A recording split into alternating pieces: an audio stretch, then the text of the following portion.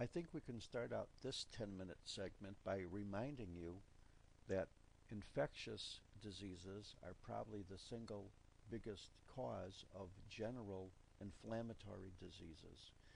Probably the second biggest cause would be autoimmune diseases. So a good principle is that if the antigens causing infection are coming from the outside of your body, that's infectious disease. If the antigens causing infection are from your intrinsic antigens, that's autoimmune disease.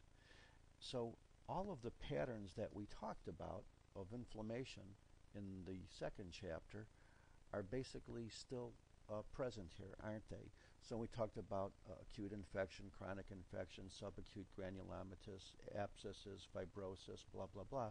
They apply here. And I would also like to remind you that it's not very likely that a specific type of organism will produce a very, very specific type of inflammatory reaction. What I mean is, it'll generally fall into clusters. You may see um, abscesses in any type of infection. You may see granulomas in uh, many other types of infections. But uh, it's not very likely you could identify a specific organism just from looking at a specific pattern, anatomic pattern of inflammation.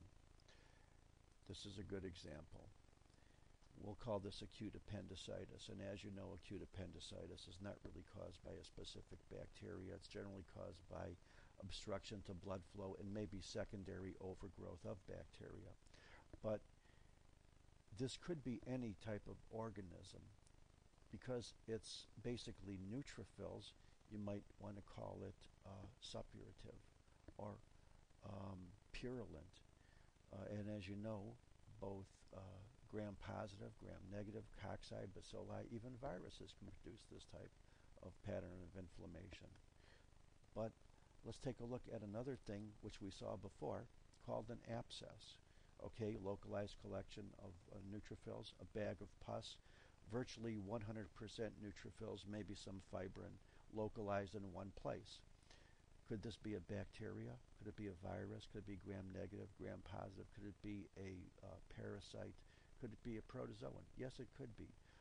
But I want to point out that uh, patterns of inflammation are not specific, at least not really 100% specific. In some cases, like granulomas, you might be able to narrow it down in terms of what type of organism is infecting. Here is something which you might say, and you say, gee, this kind of looks like it's either organizing inflammation or maybe chronic inflammation because there's a lot of lymphocytes and macrophages here, but I see a lot of blood vessels, a lot of edema. Could this be uh, a suppurative or acute inflammation from anything which is now organizing? It certainly could be. Because uh, you might start be starting to see the entrance of perhaps some fibroblasts. Could it be the beginning of fibrosis? Yes, it could be. Here's another classical type of inflammatory reaction to a pathogen, and it's our old friend, the granuloma.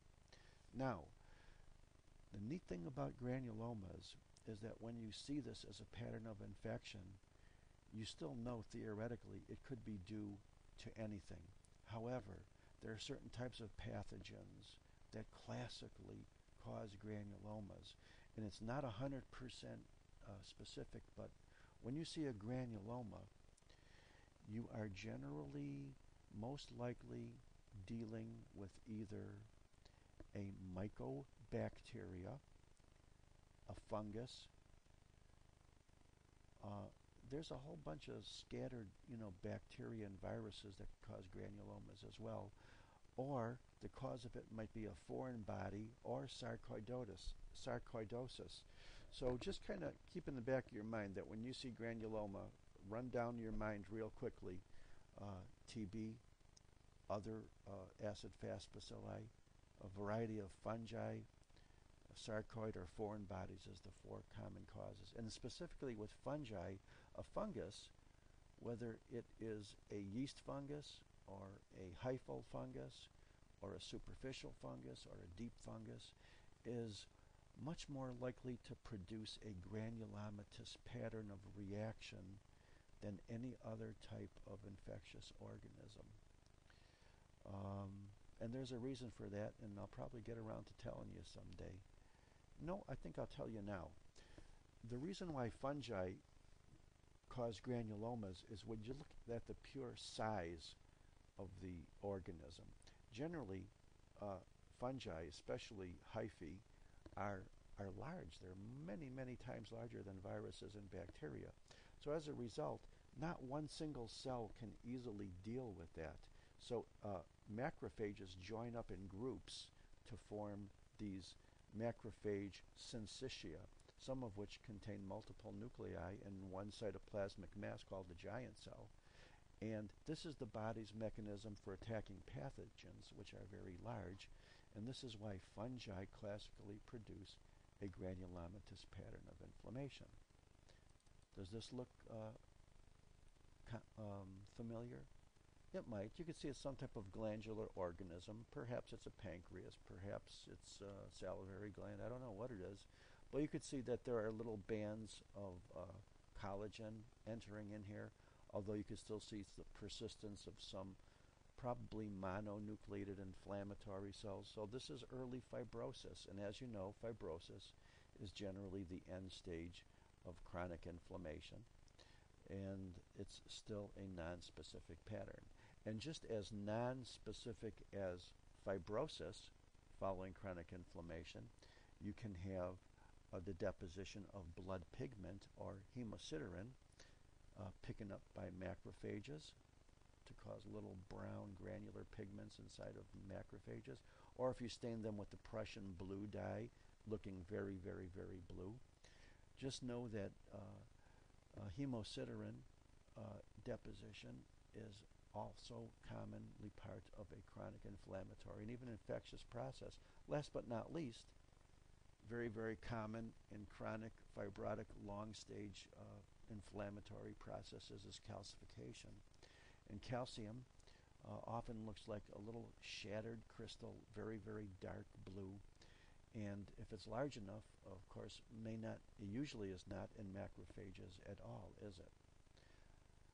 Okay, uh, now that we have seen the general uh, histologic uh, patterns of uh, body reaction to the infectious organisms, let's talk about in more detail the uh, four biggies. You know, we went through a lot of uh, interesting things and prions and little viruses that infect bacteria, but in human diseases, the kind you'll be seeing, what are really the four biggies?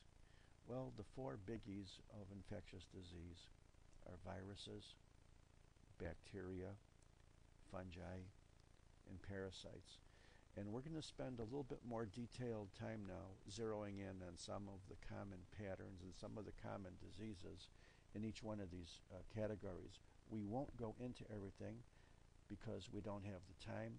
It's not worth it and we'll probably be dealing with these more when we get into the uh, systemic diseases.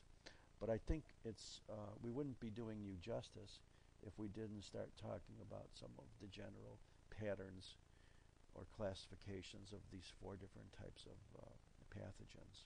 We can start out with viruses. There are four patterns of viral diseases. There's a transient acute clinical pattern, things that appear rapidly, perhaps go away rapidly, uh, nev- perhaps never come back, like measles, mumps, polio, West Nile virus infections. There are the chronic latent viruses.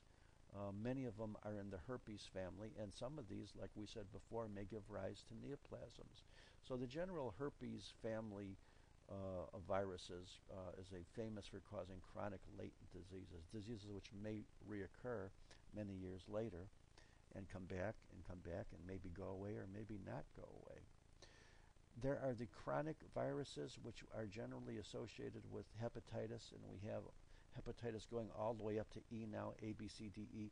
For practical purposes, hepatitis A, B, C are the ones we'll be zeroing in on.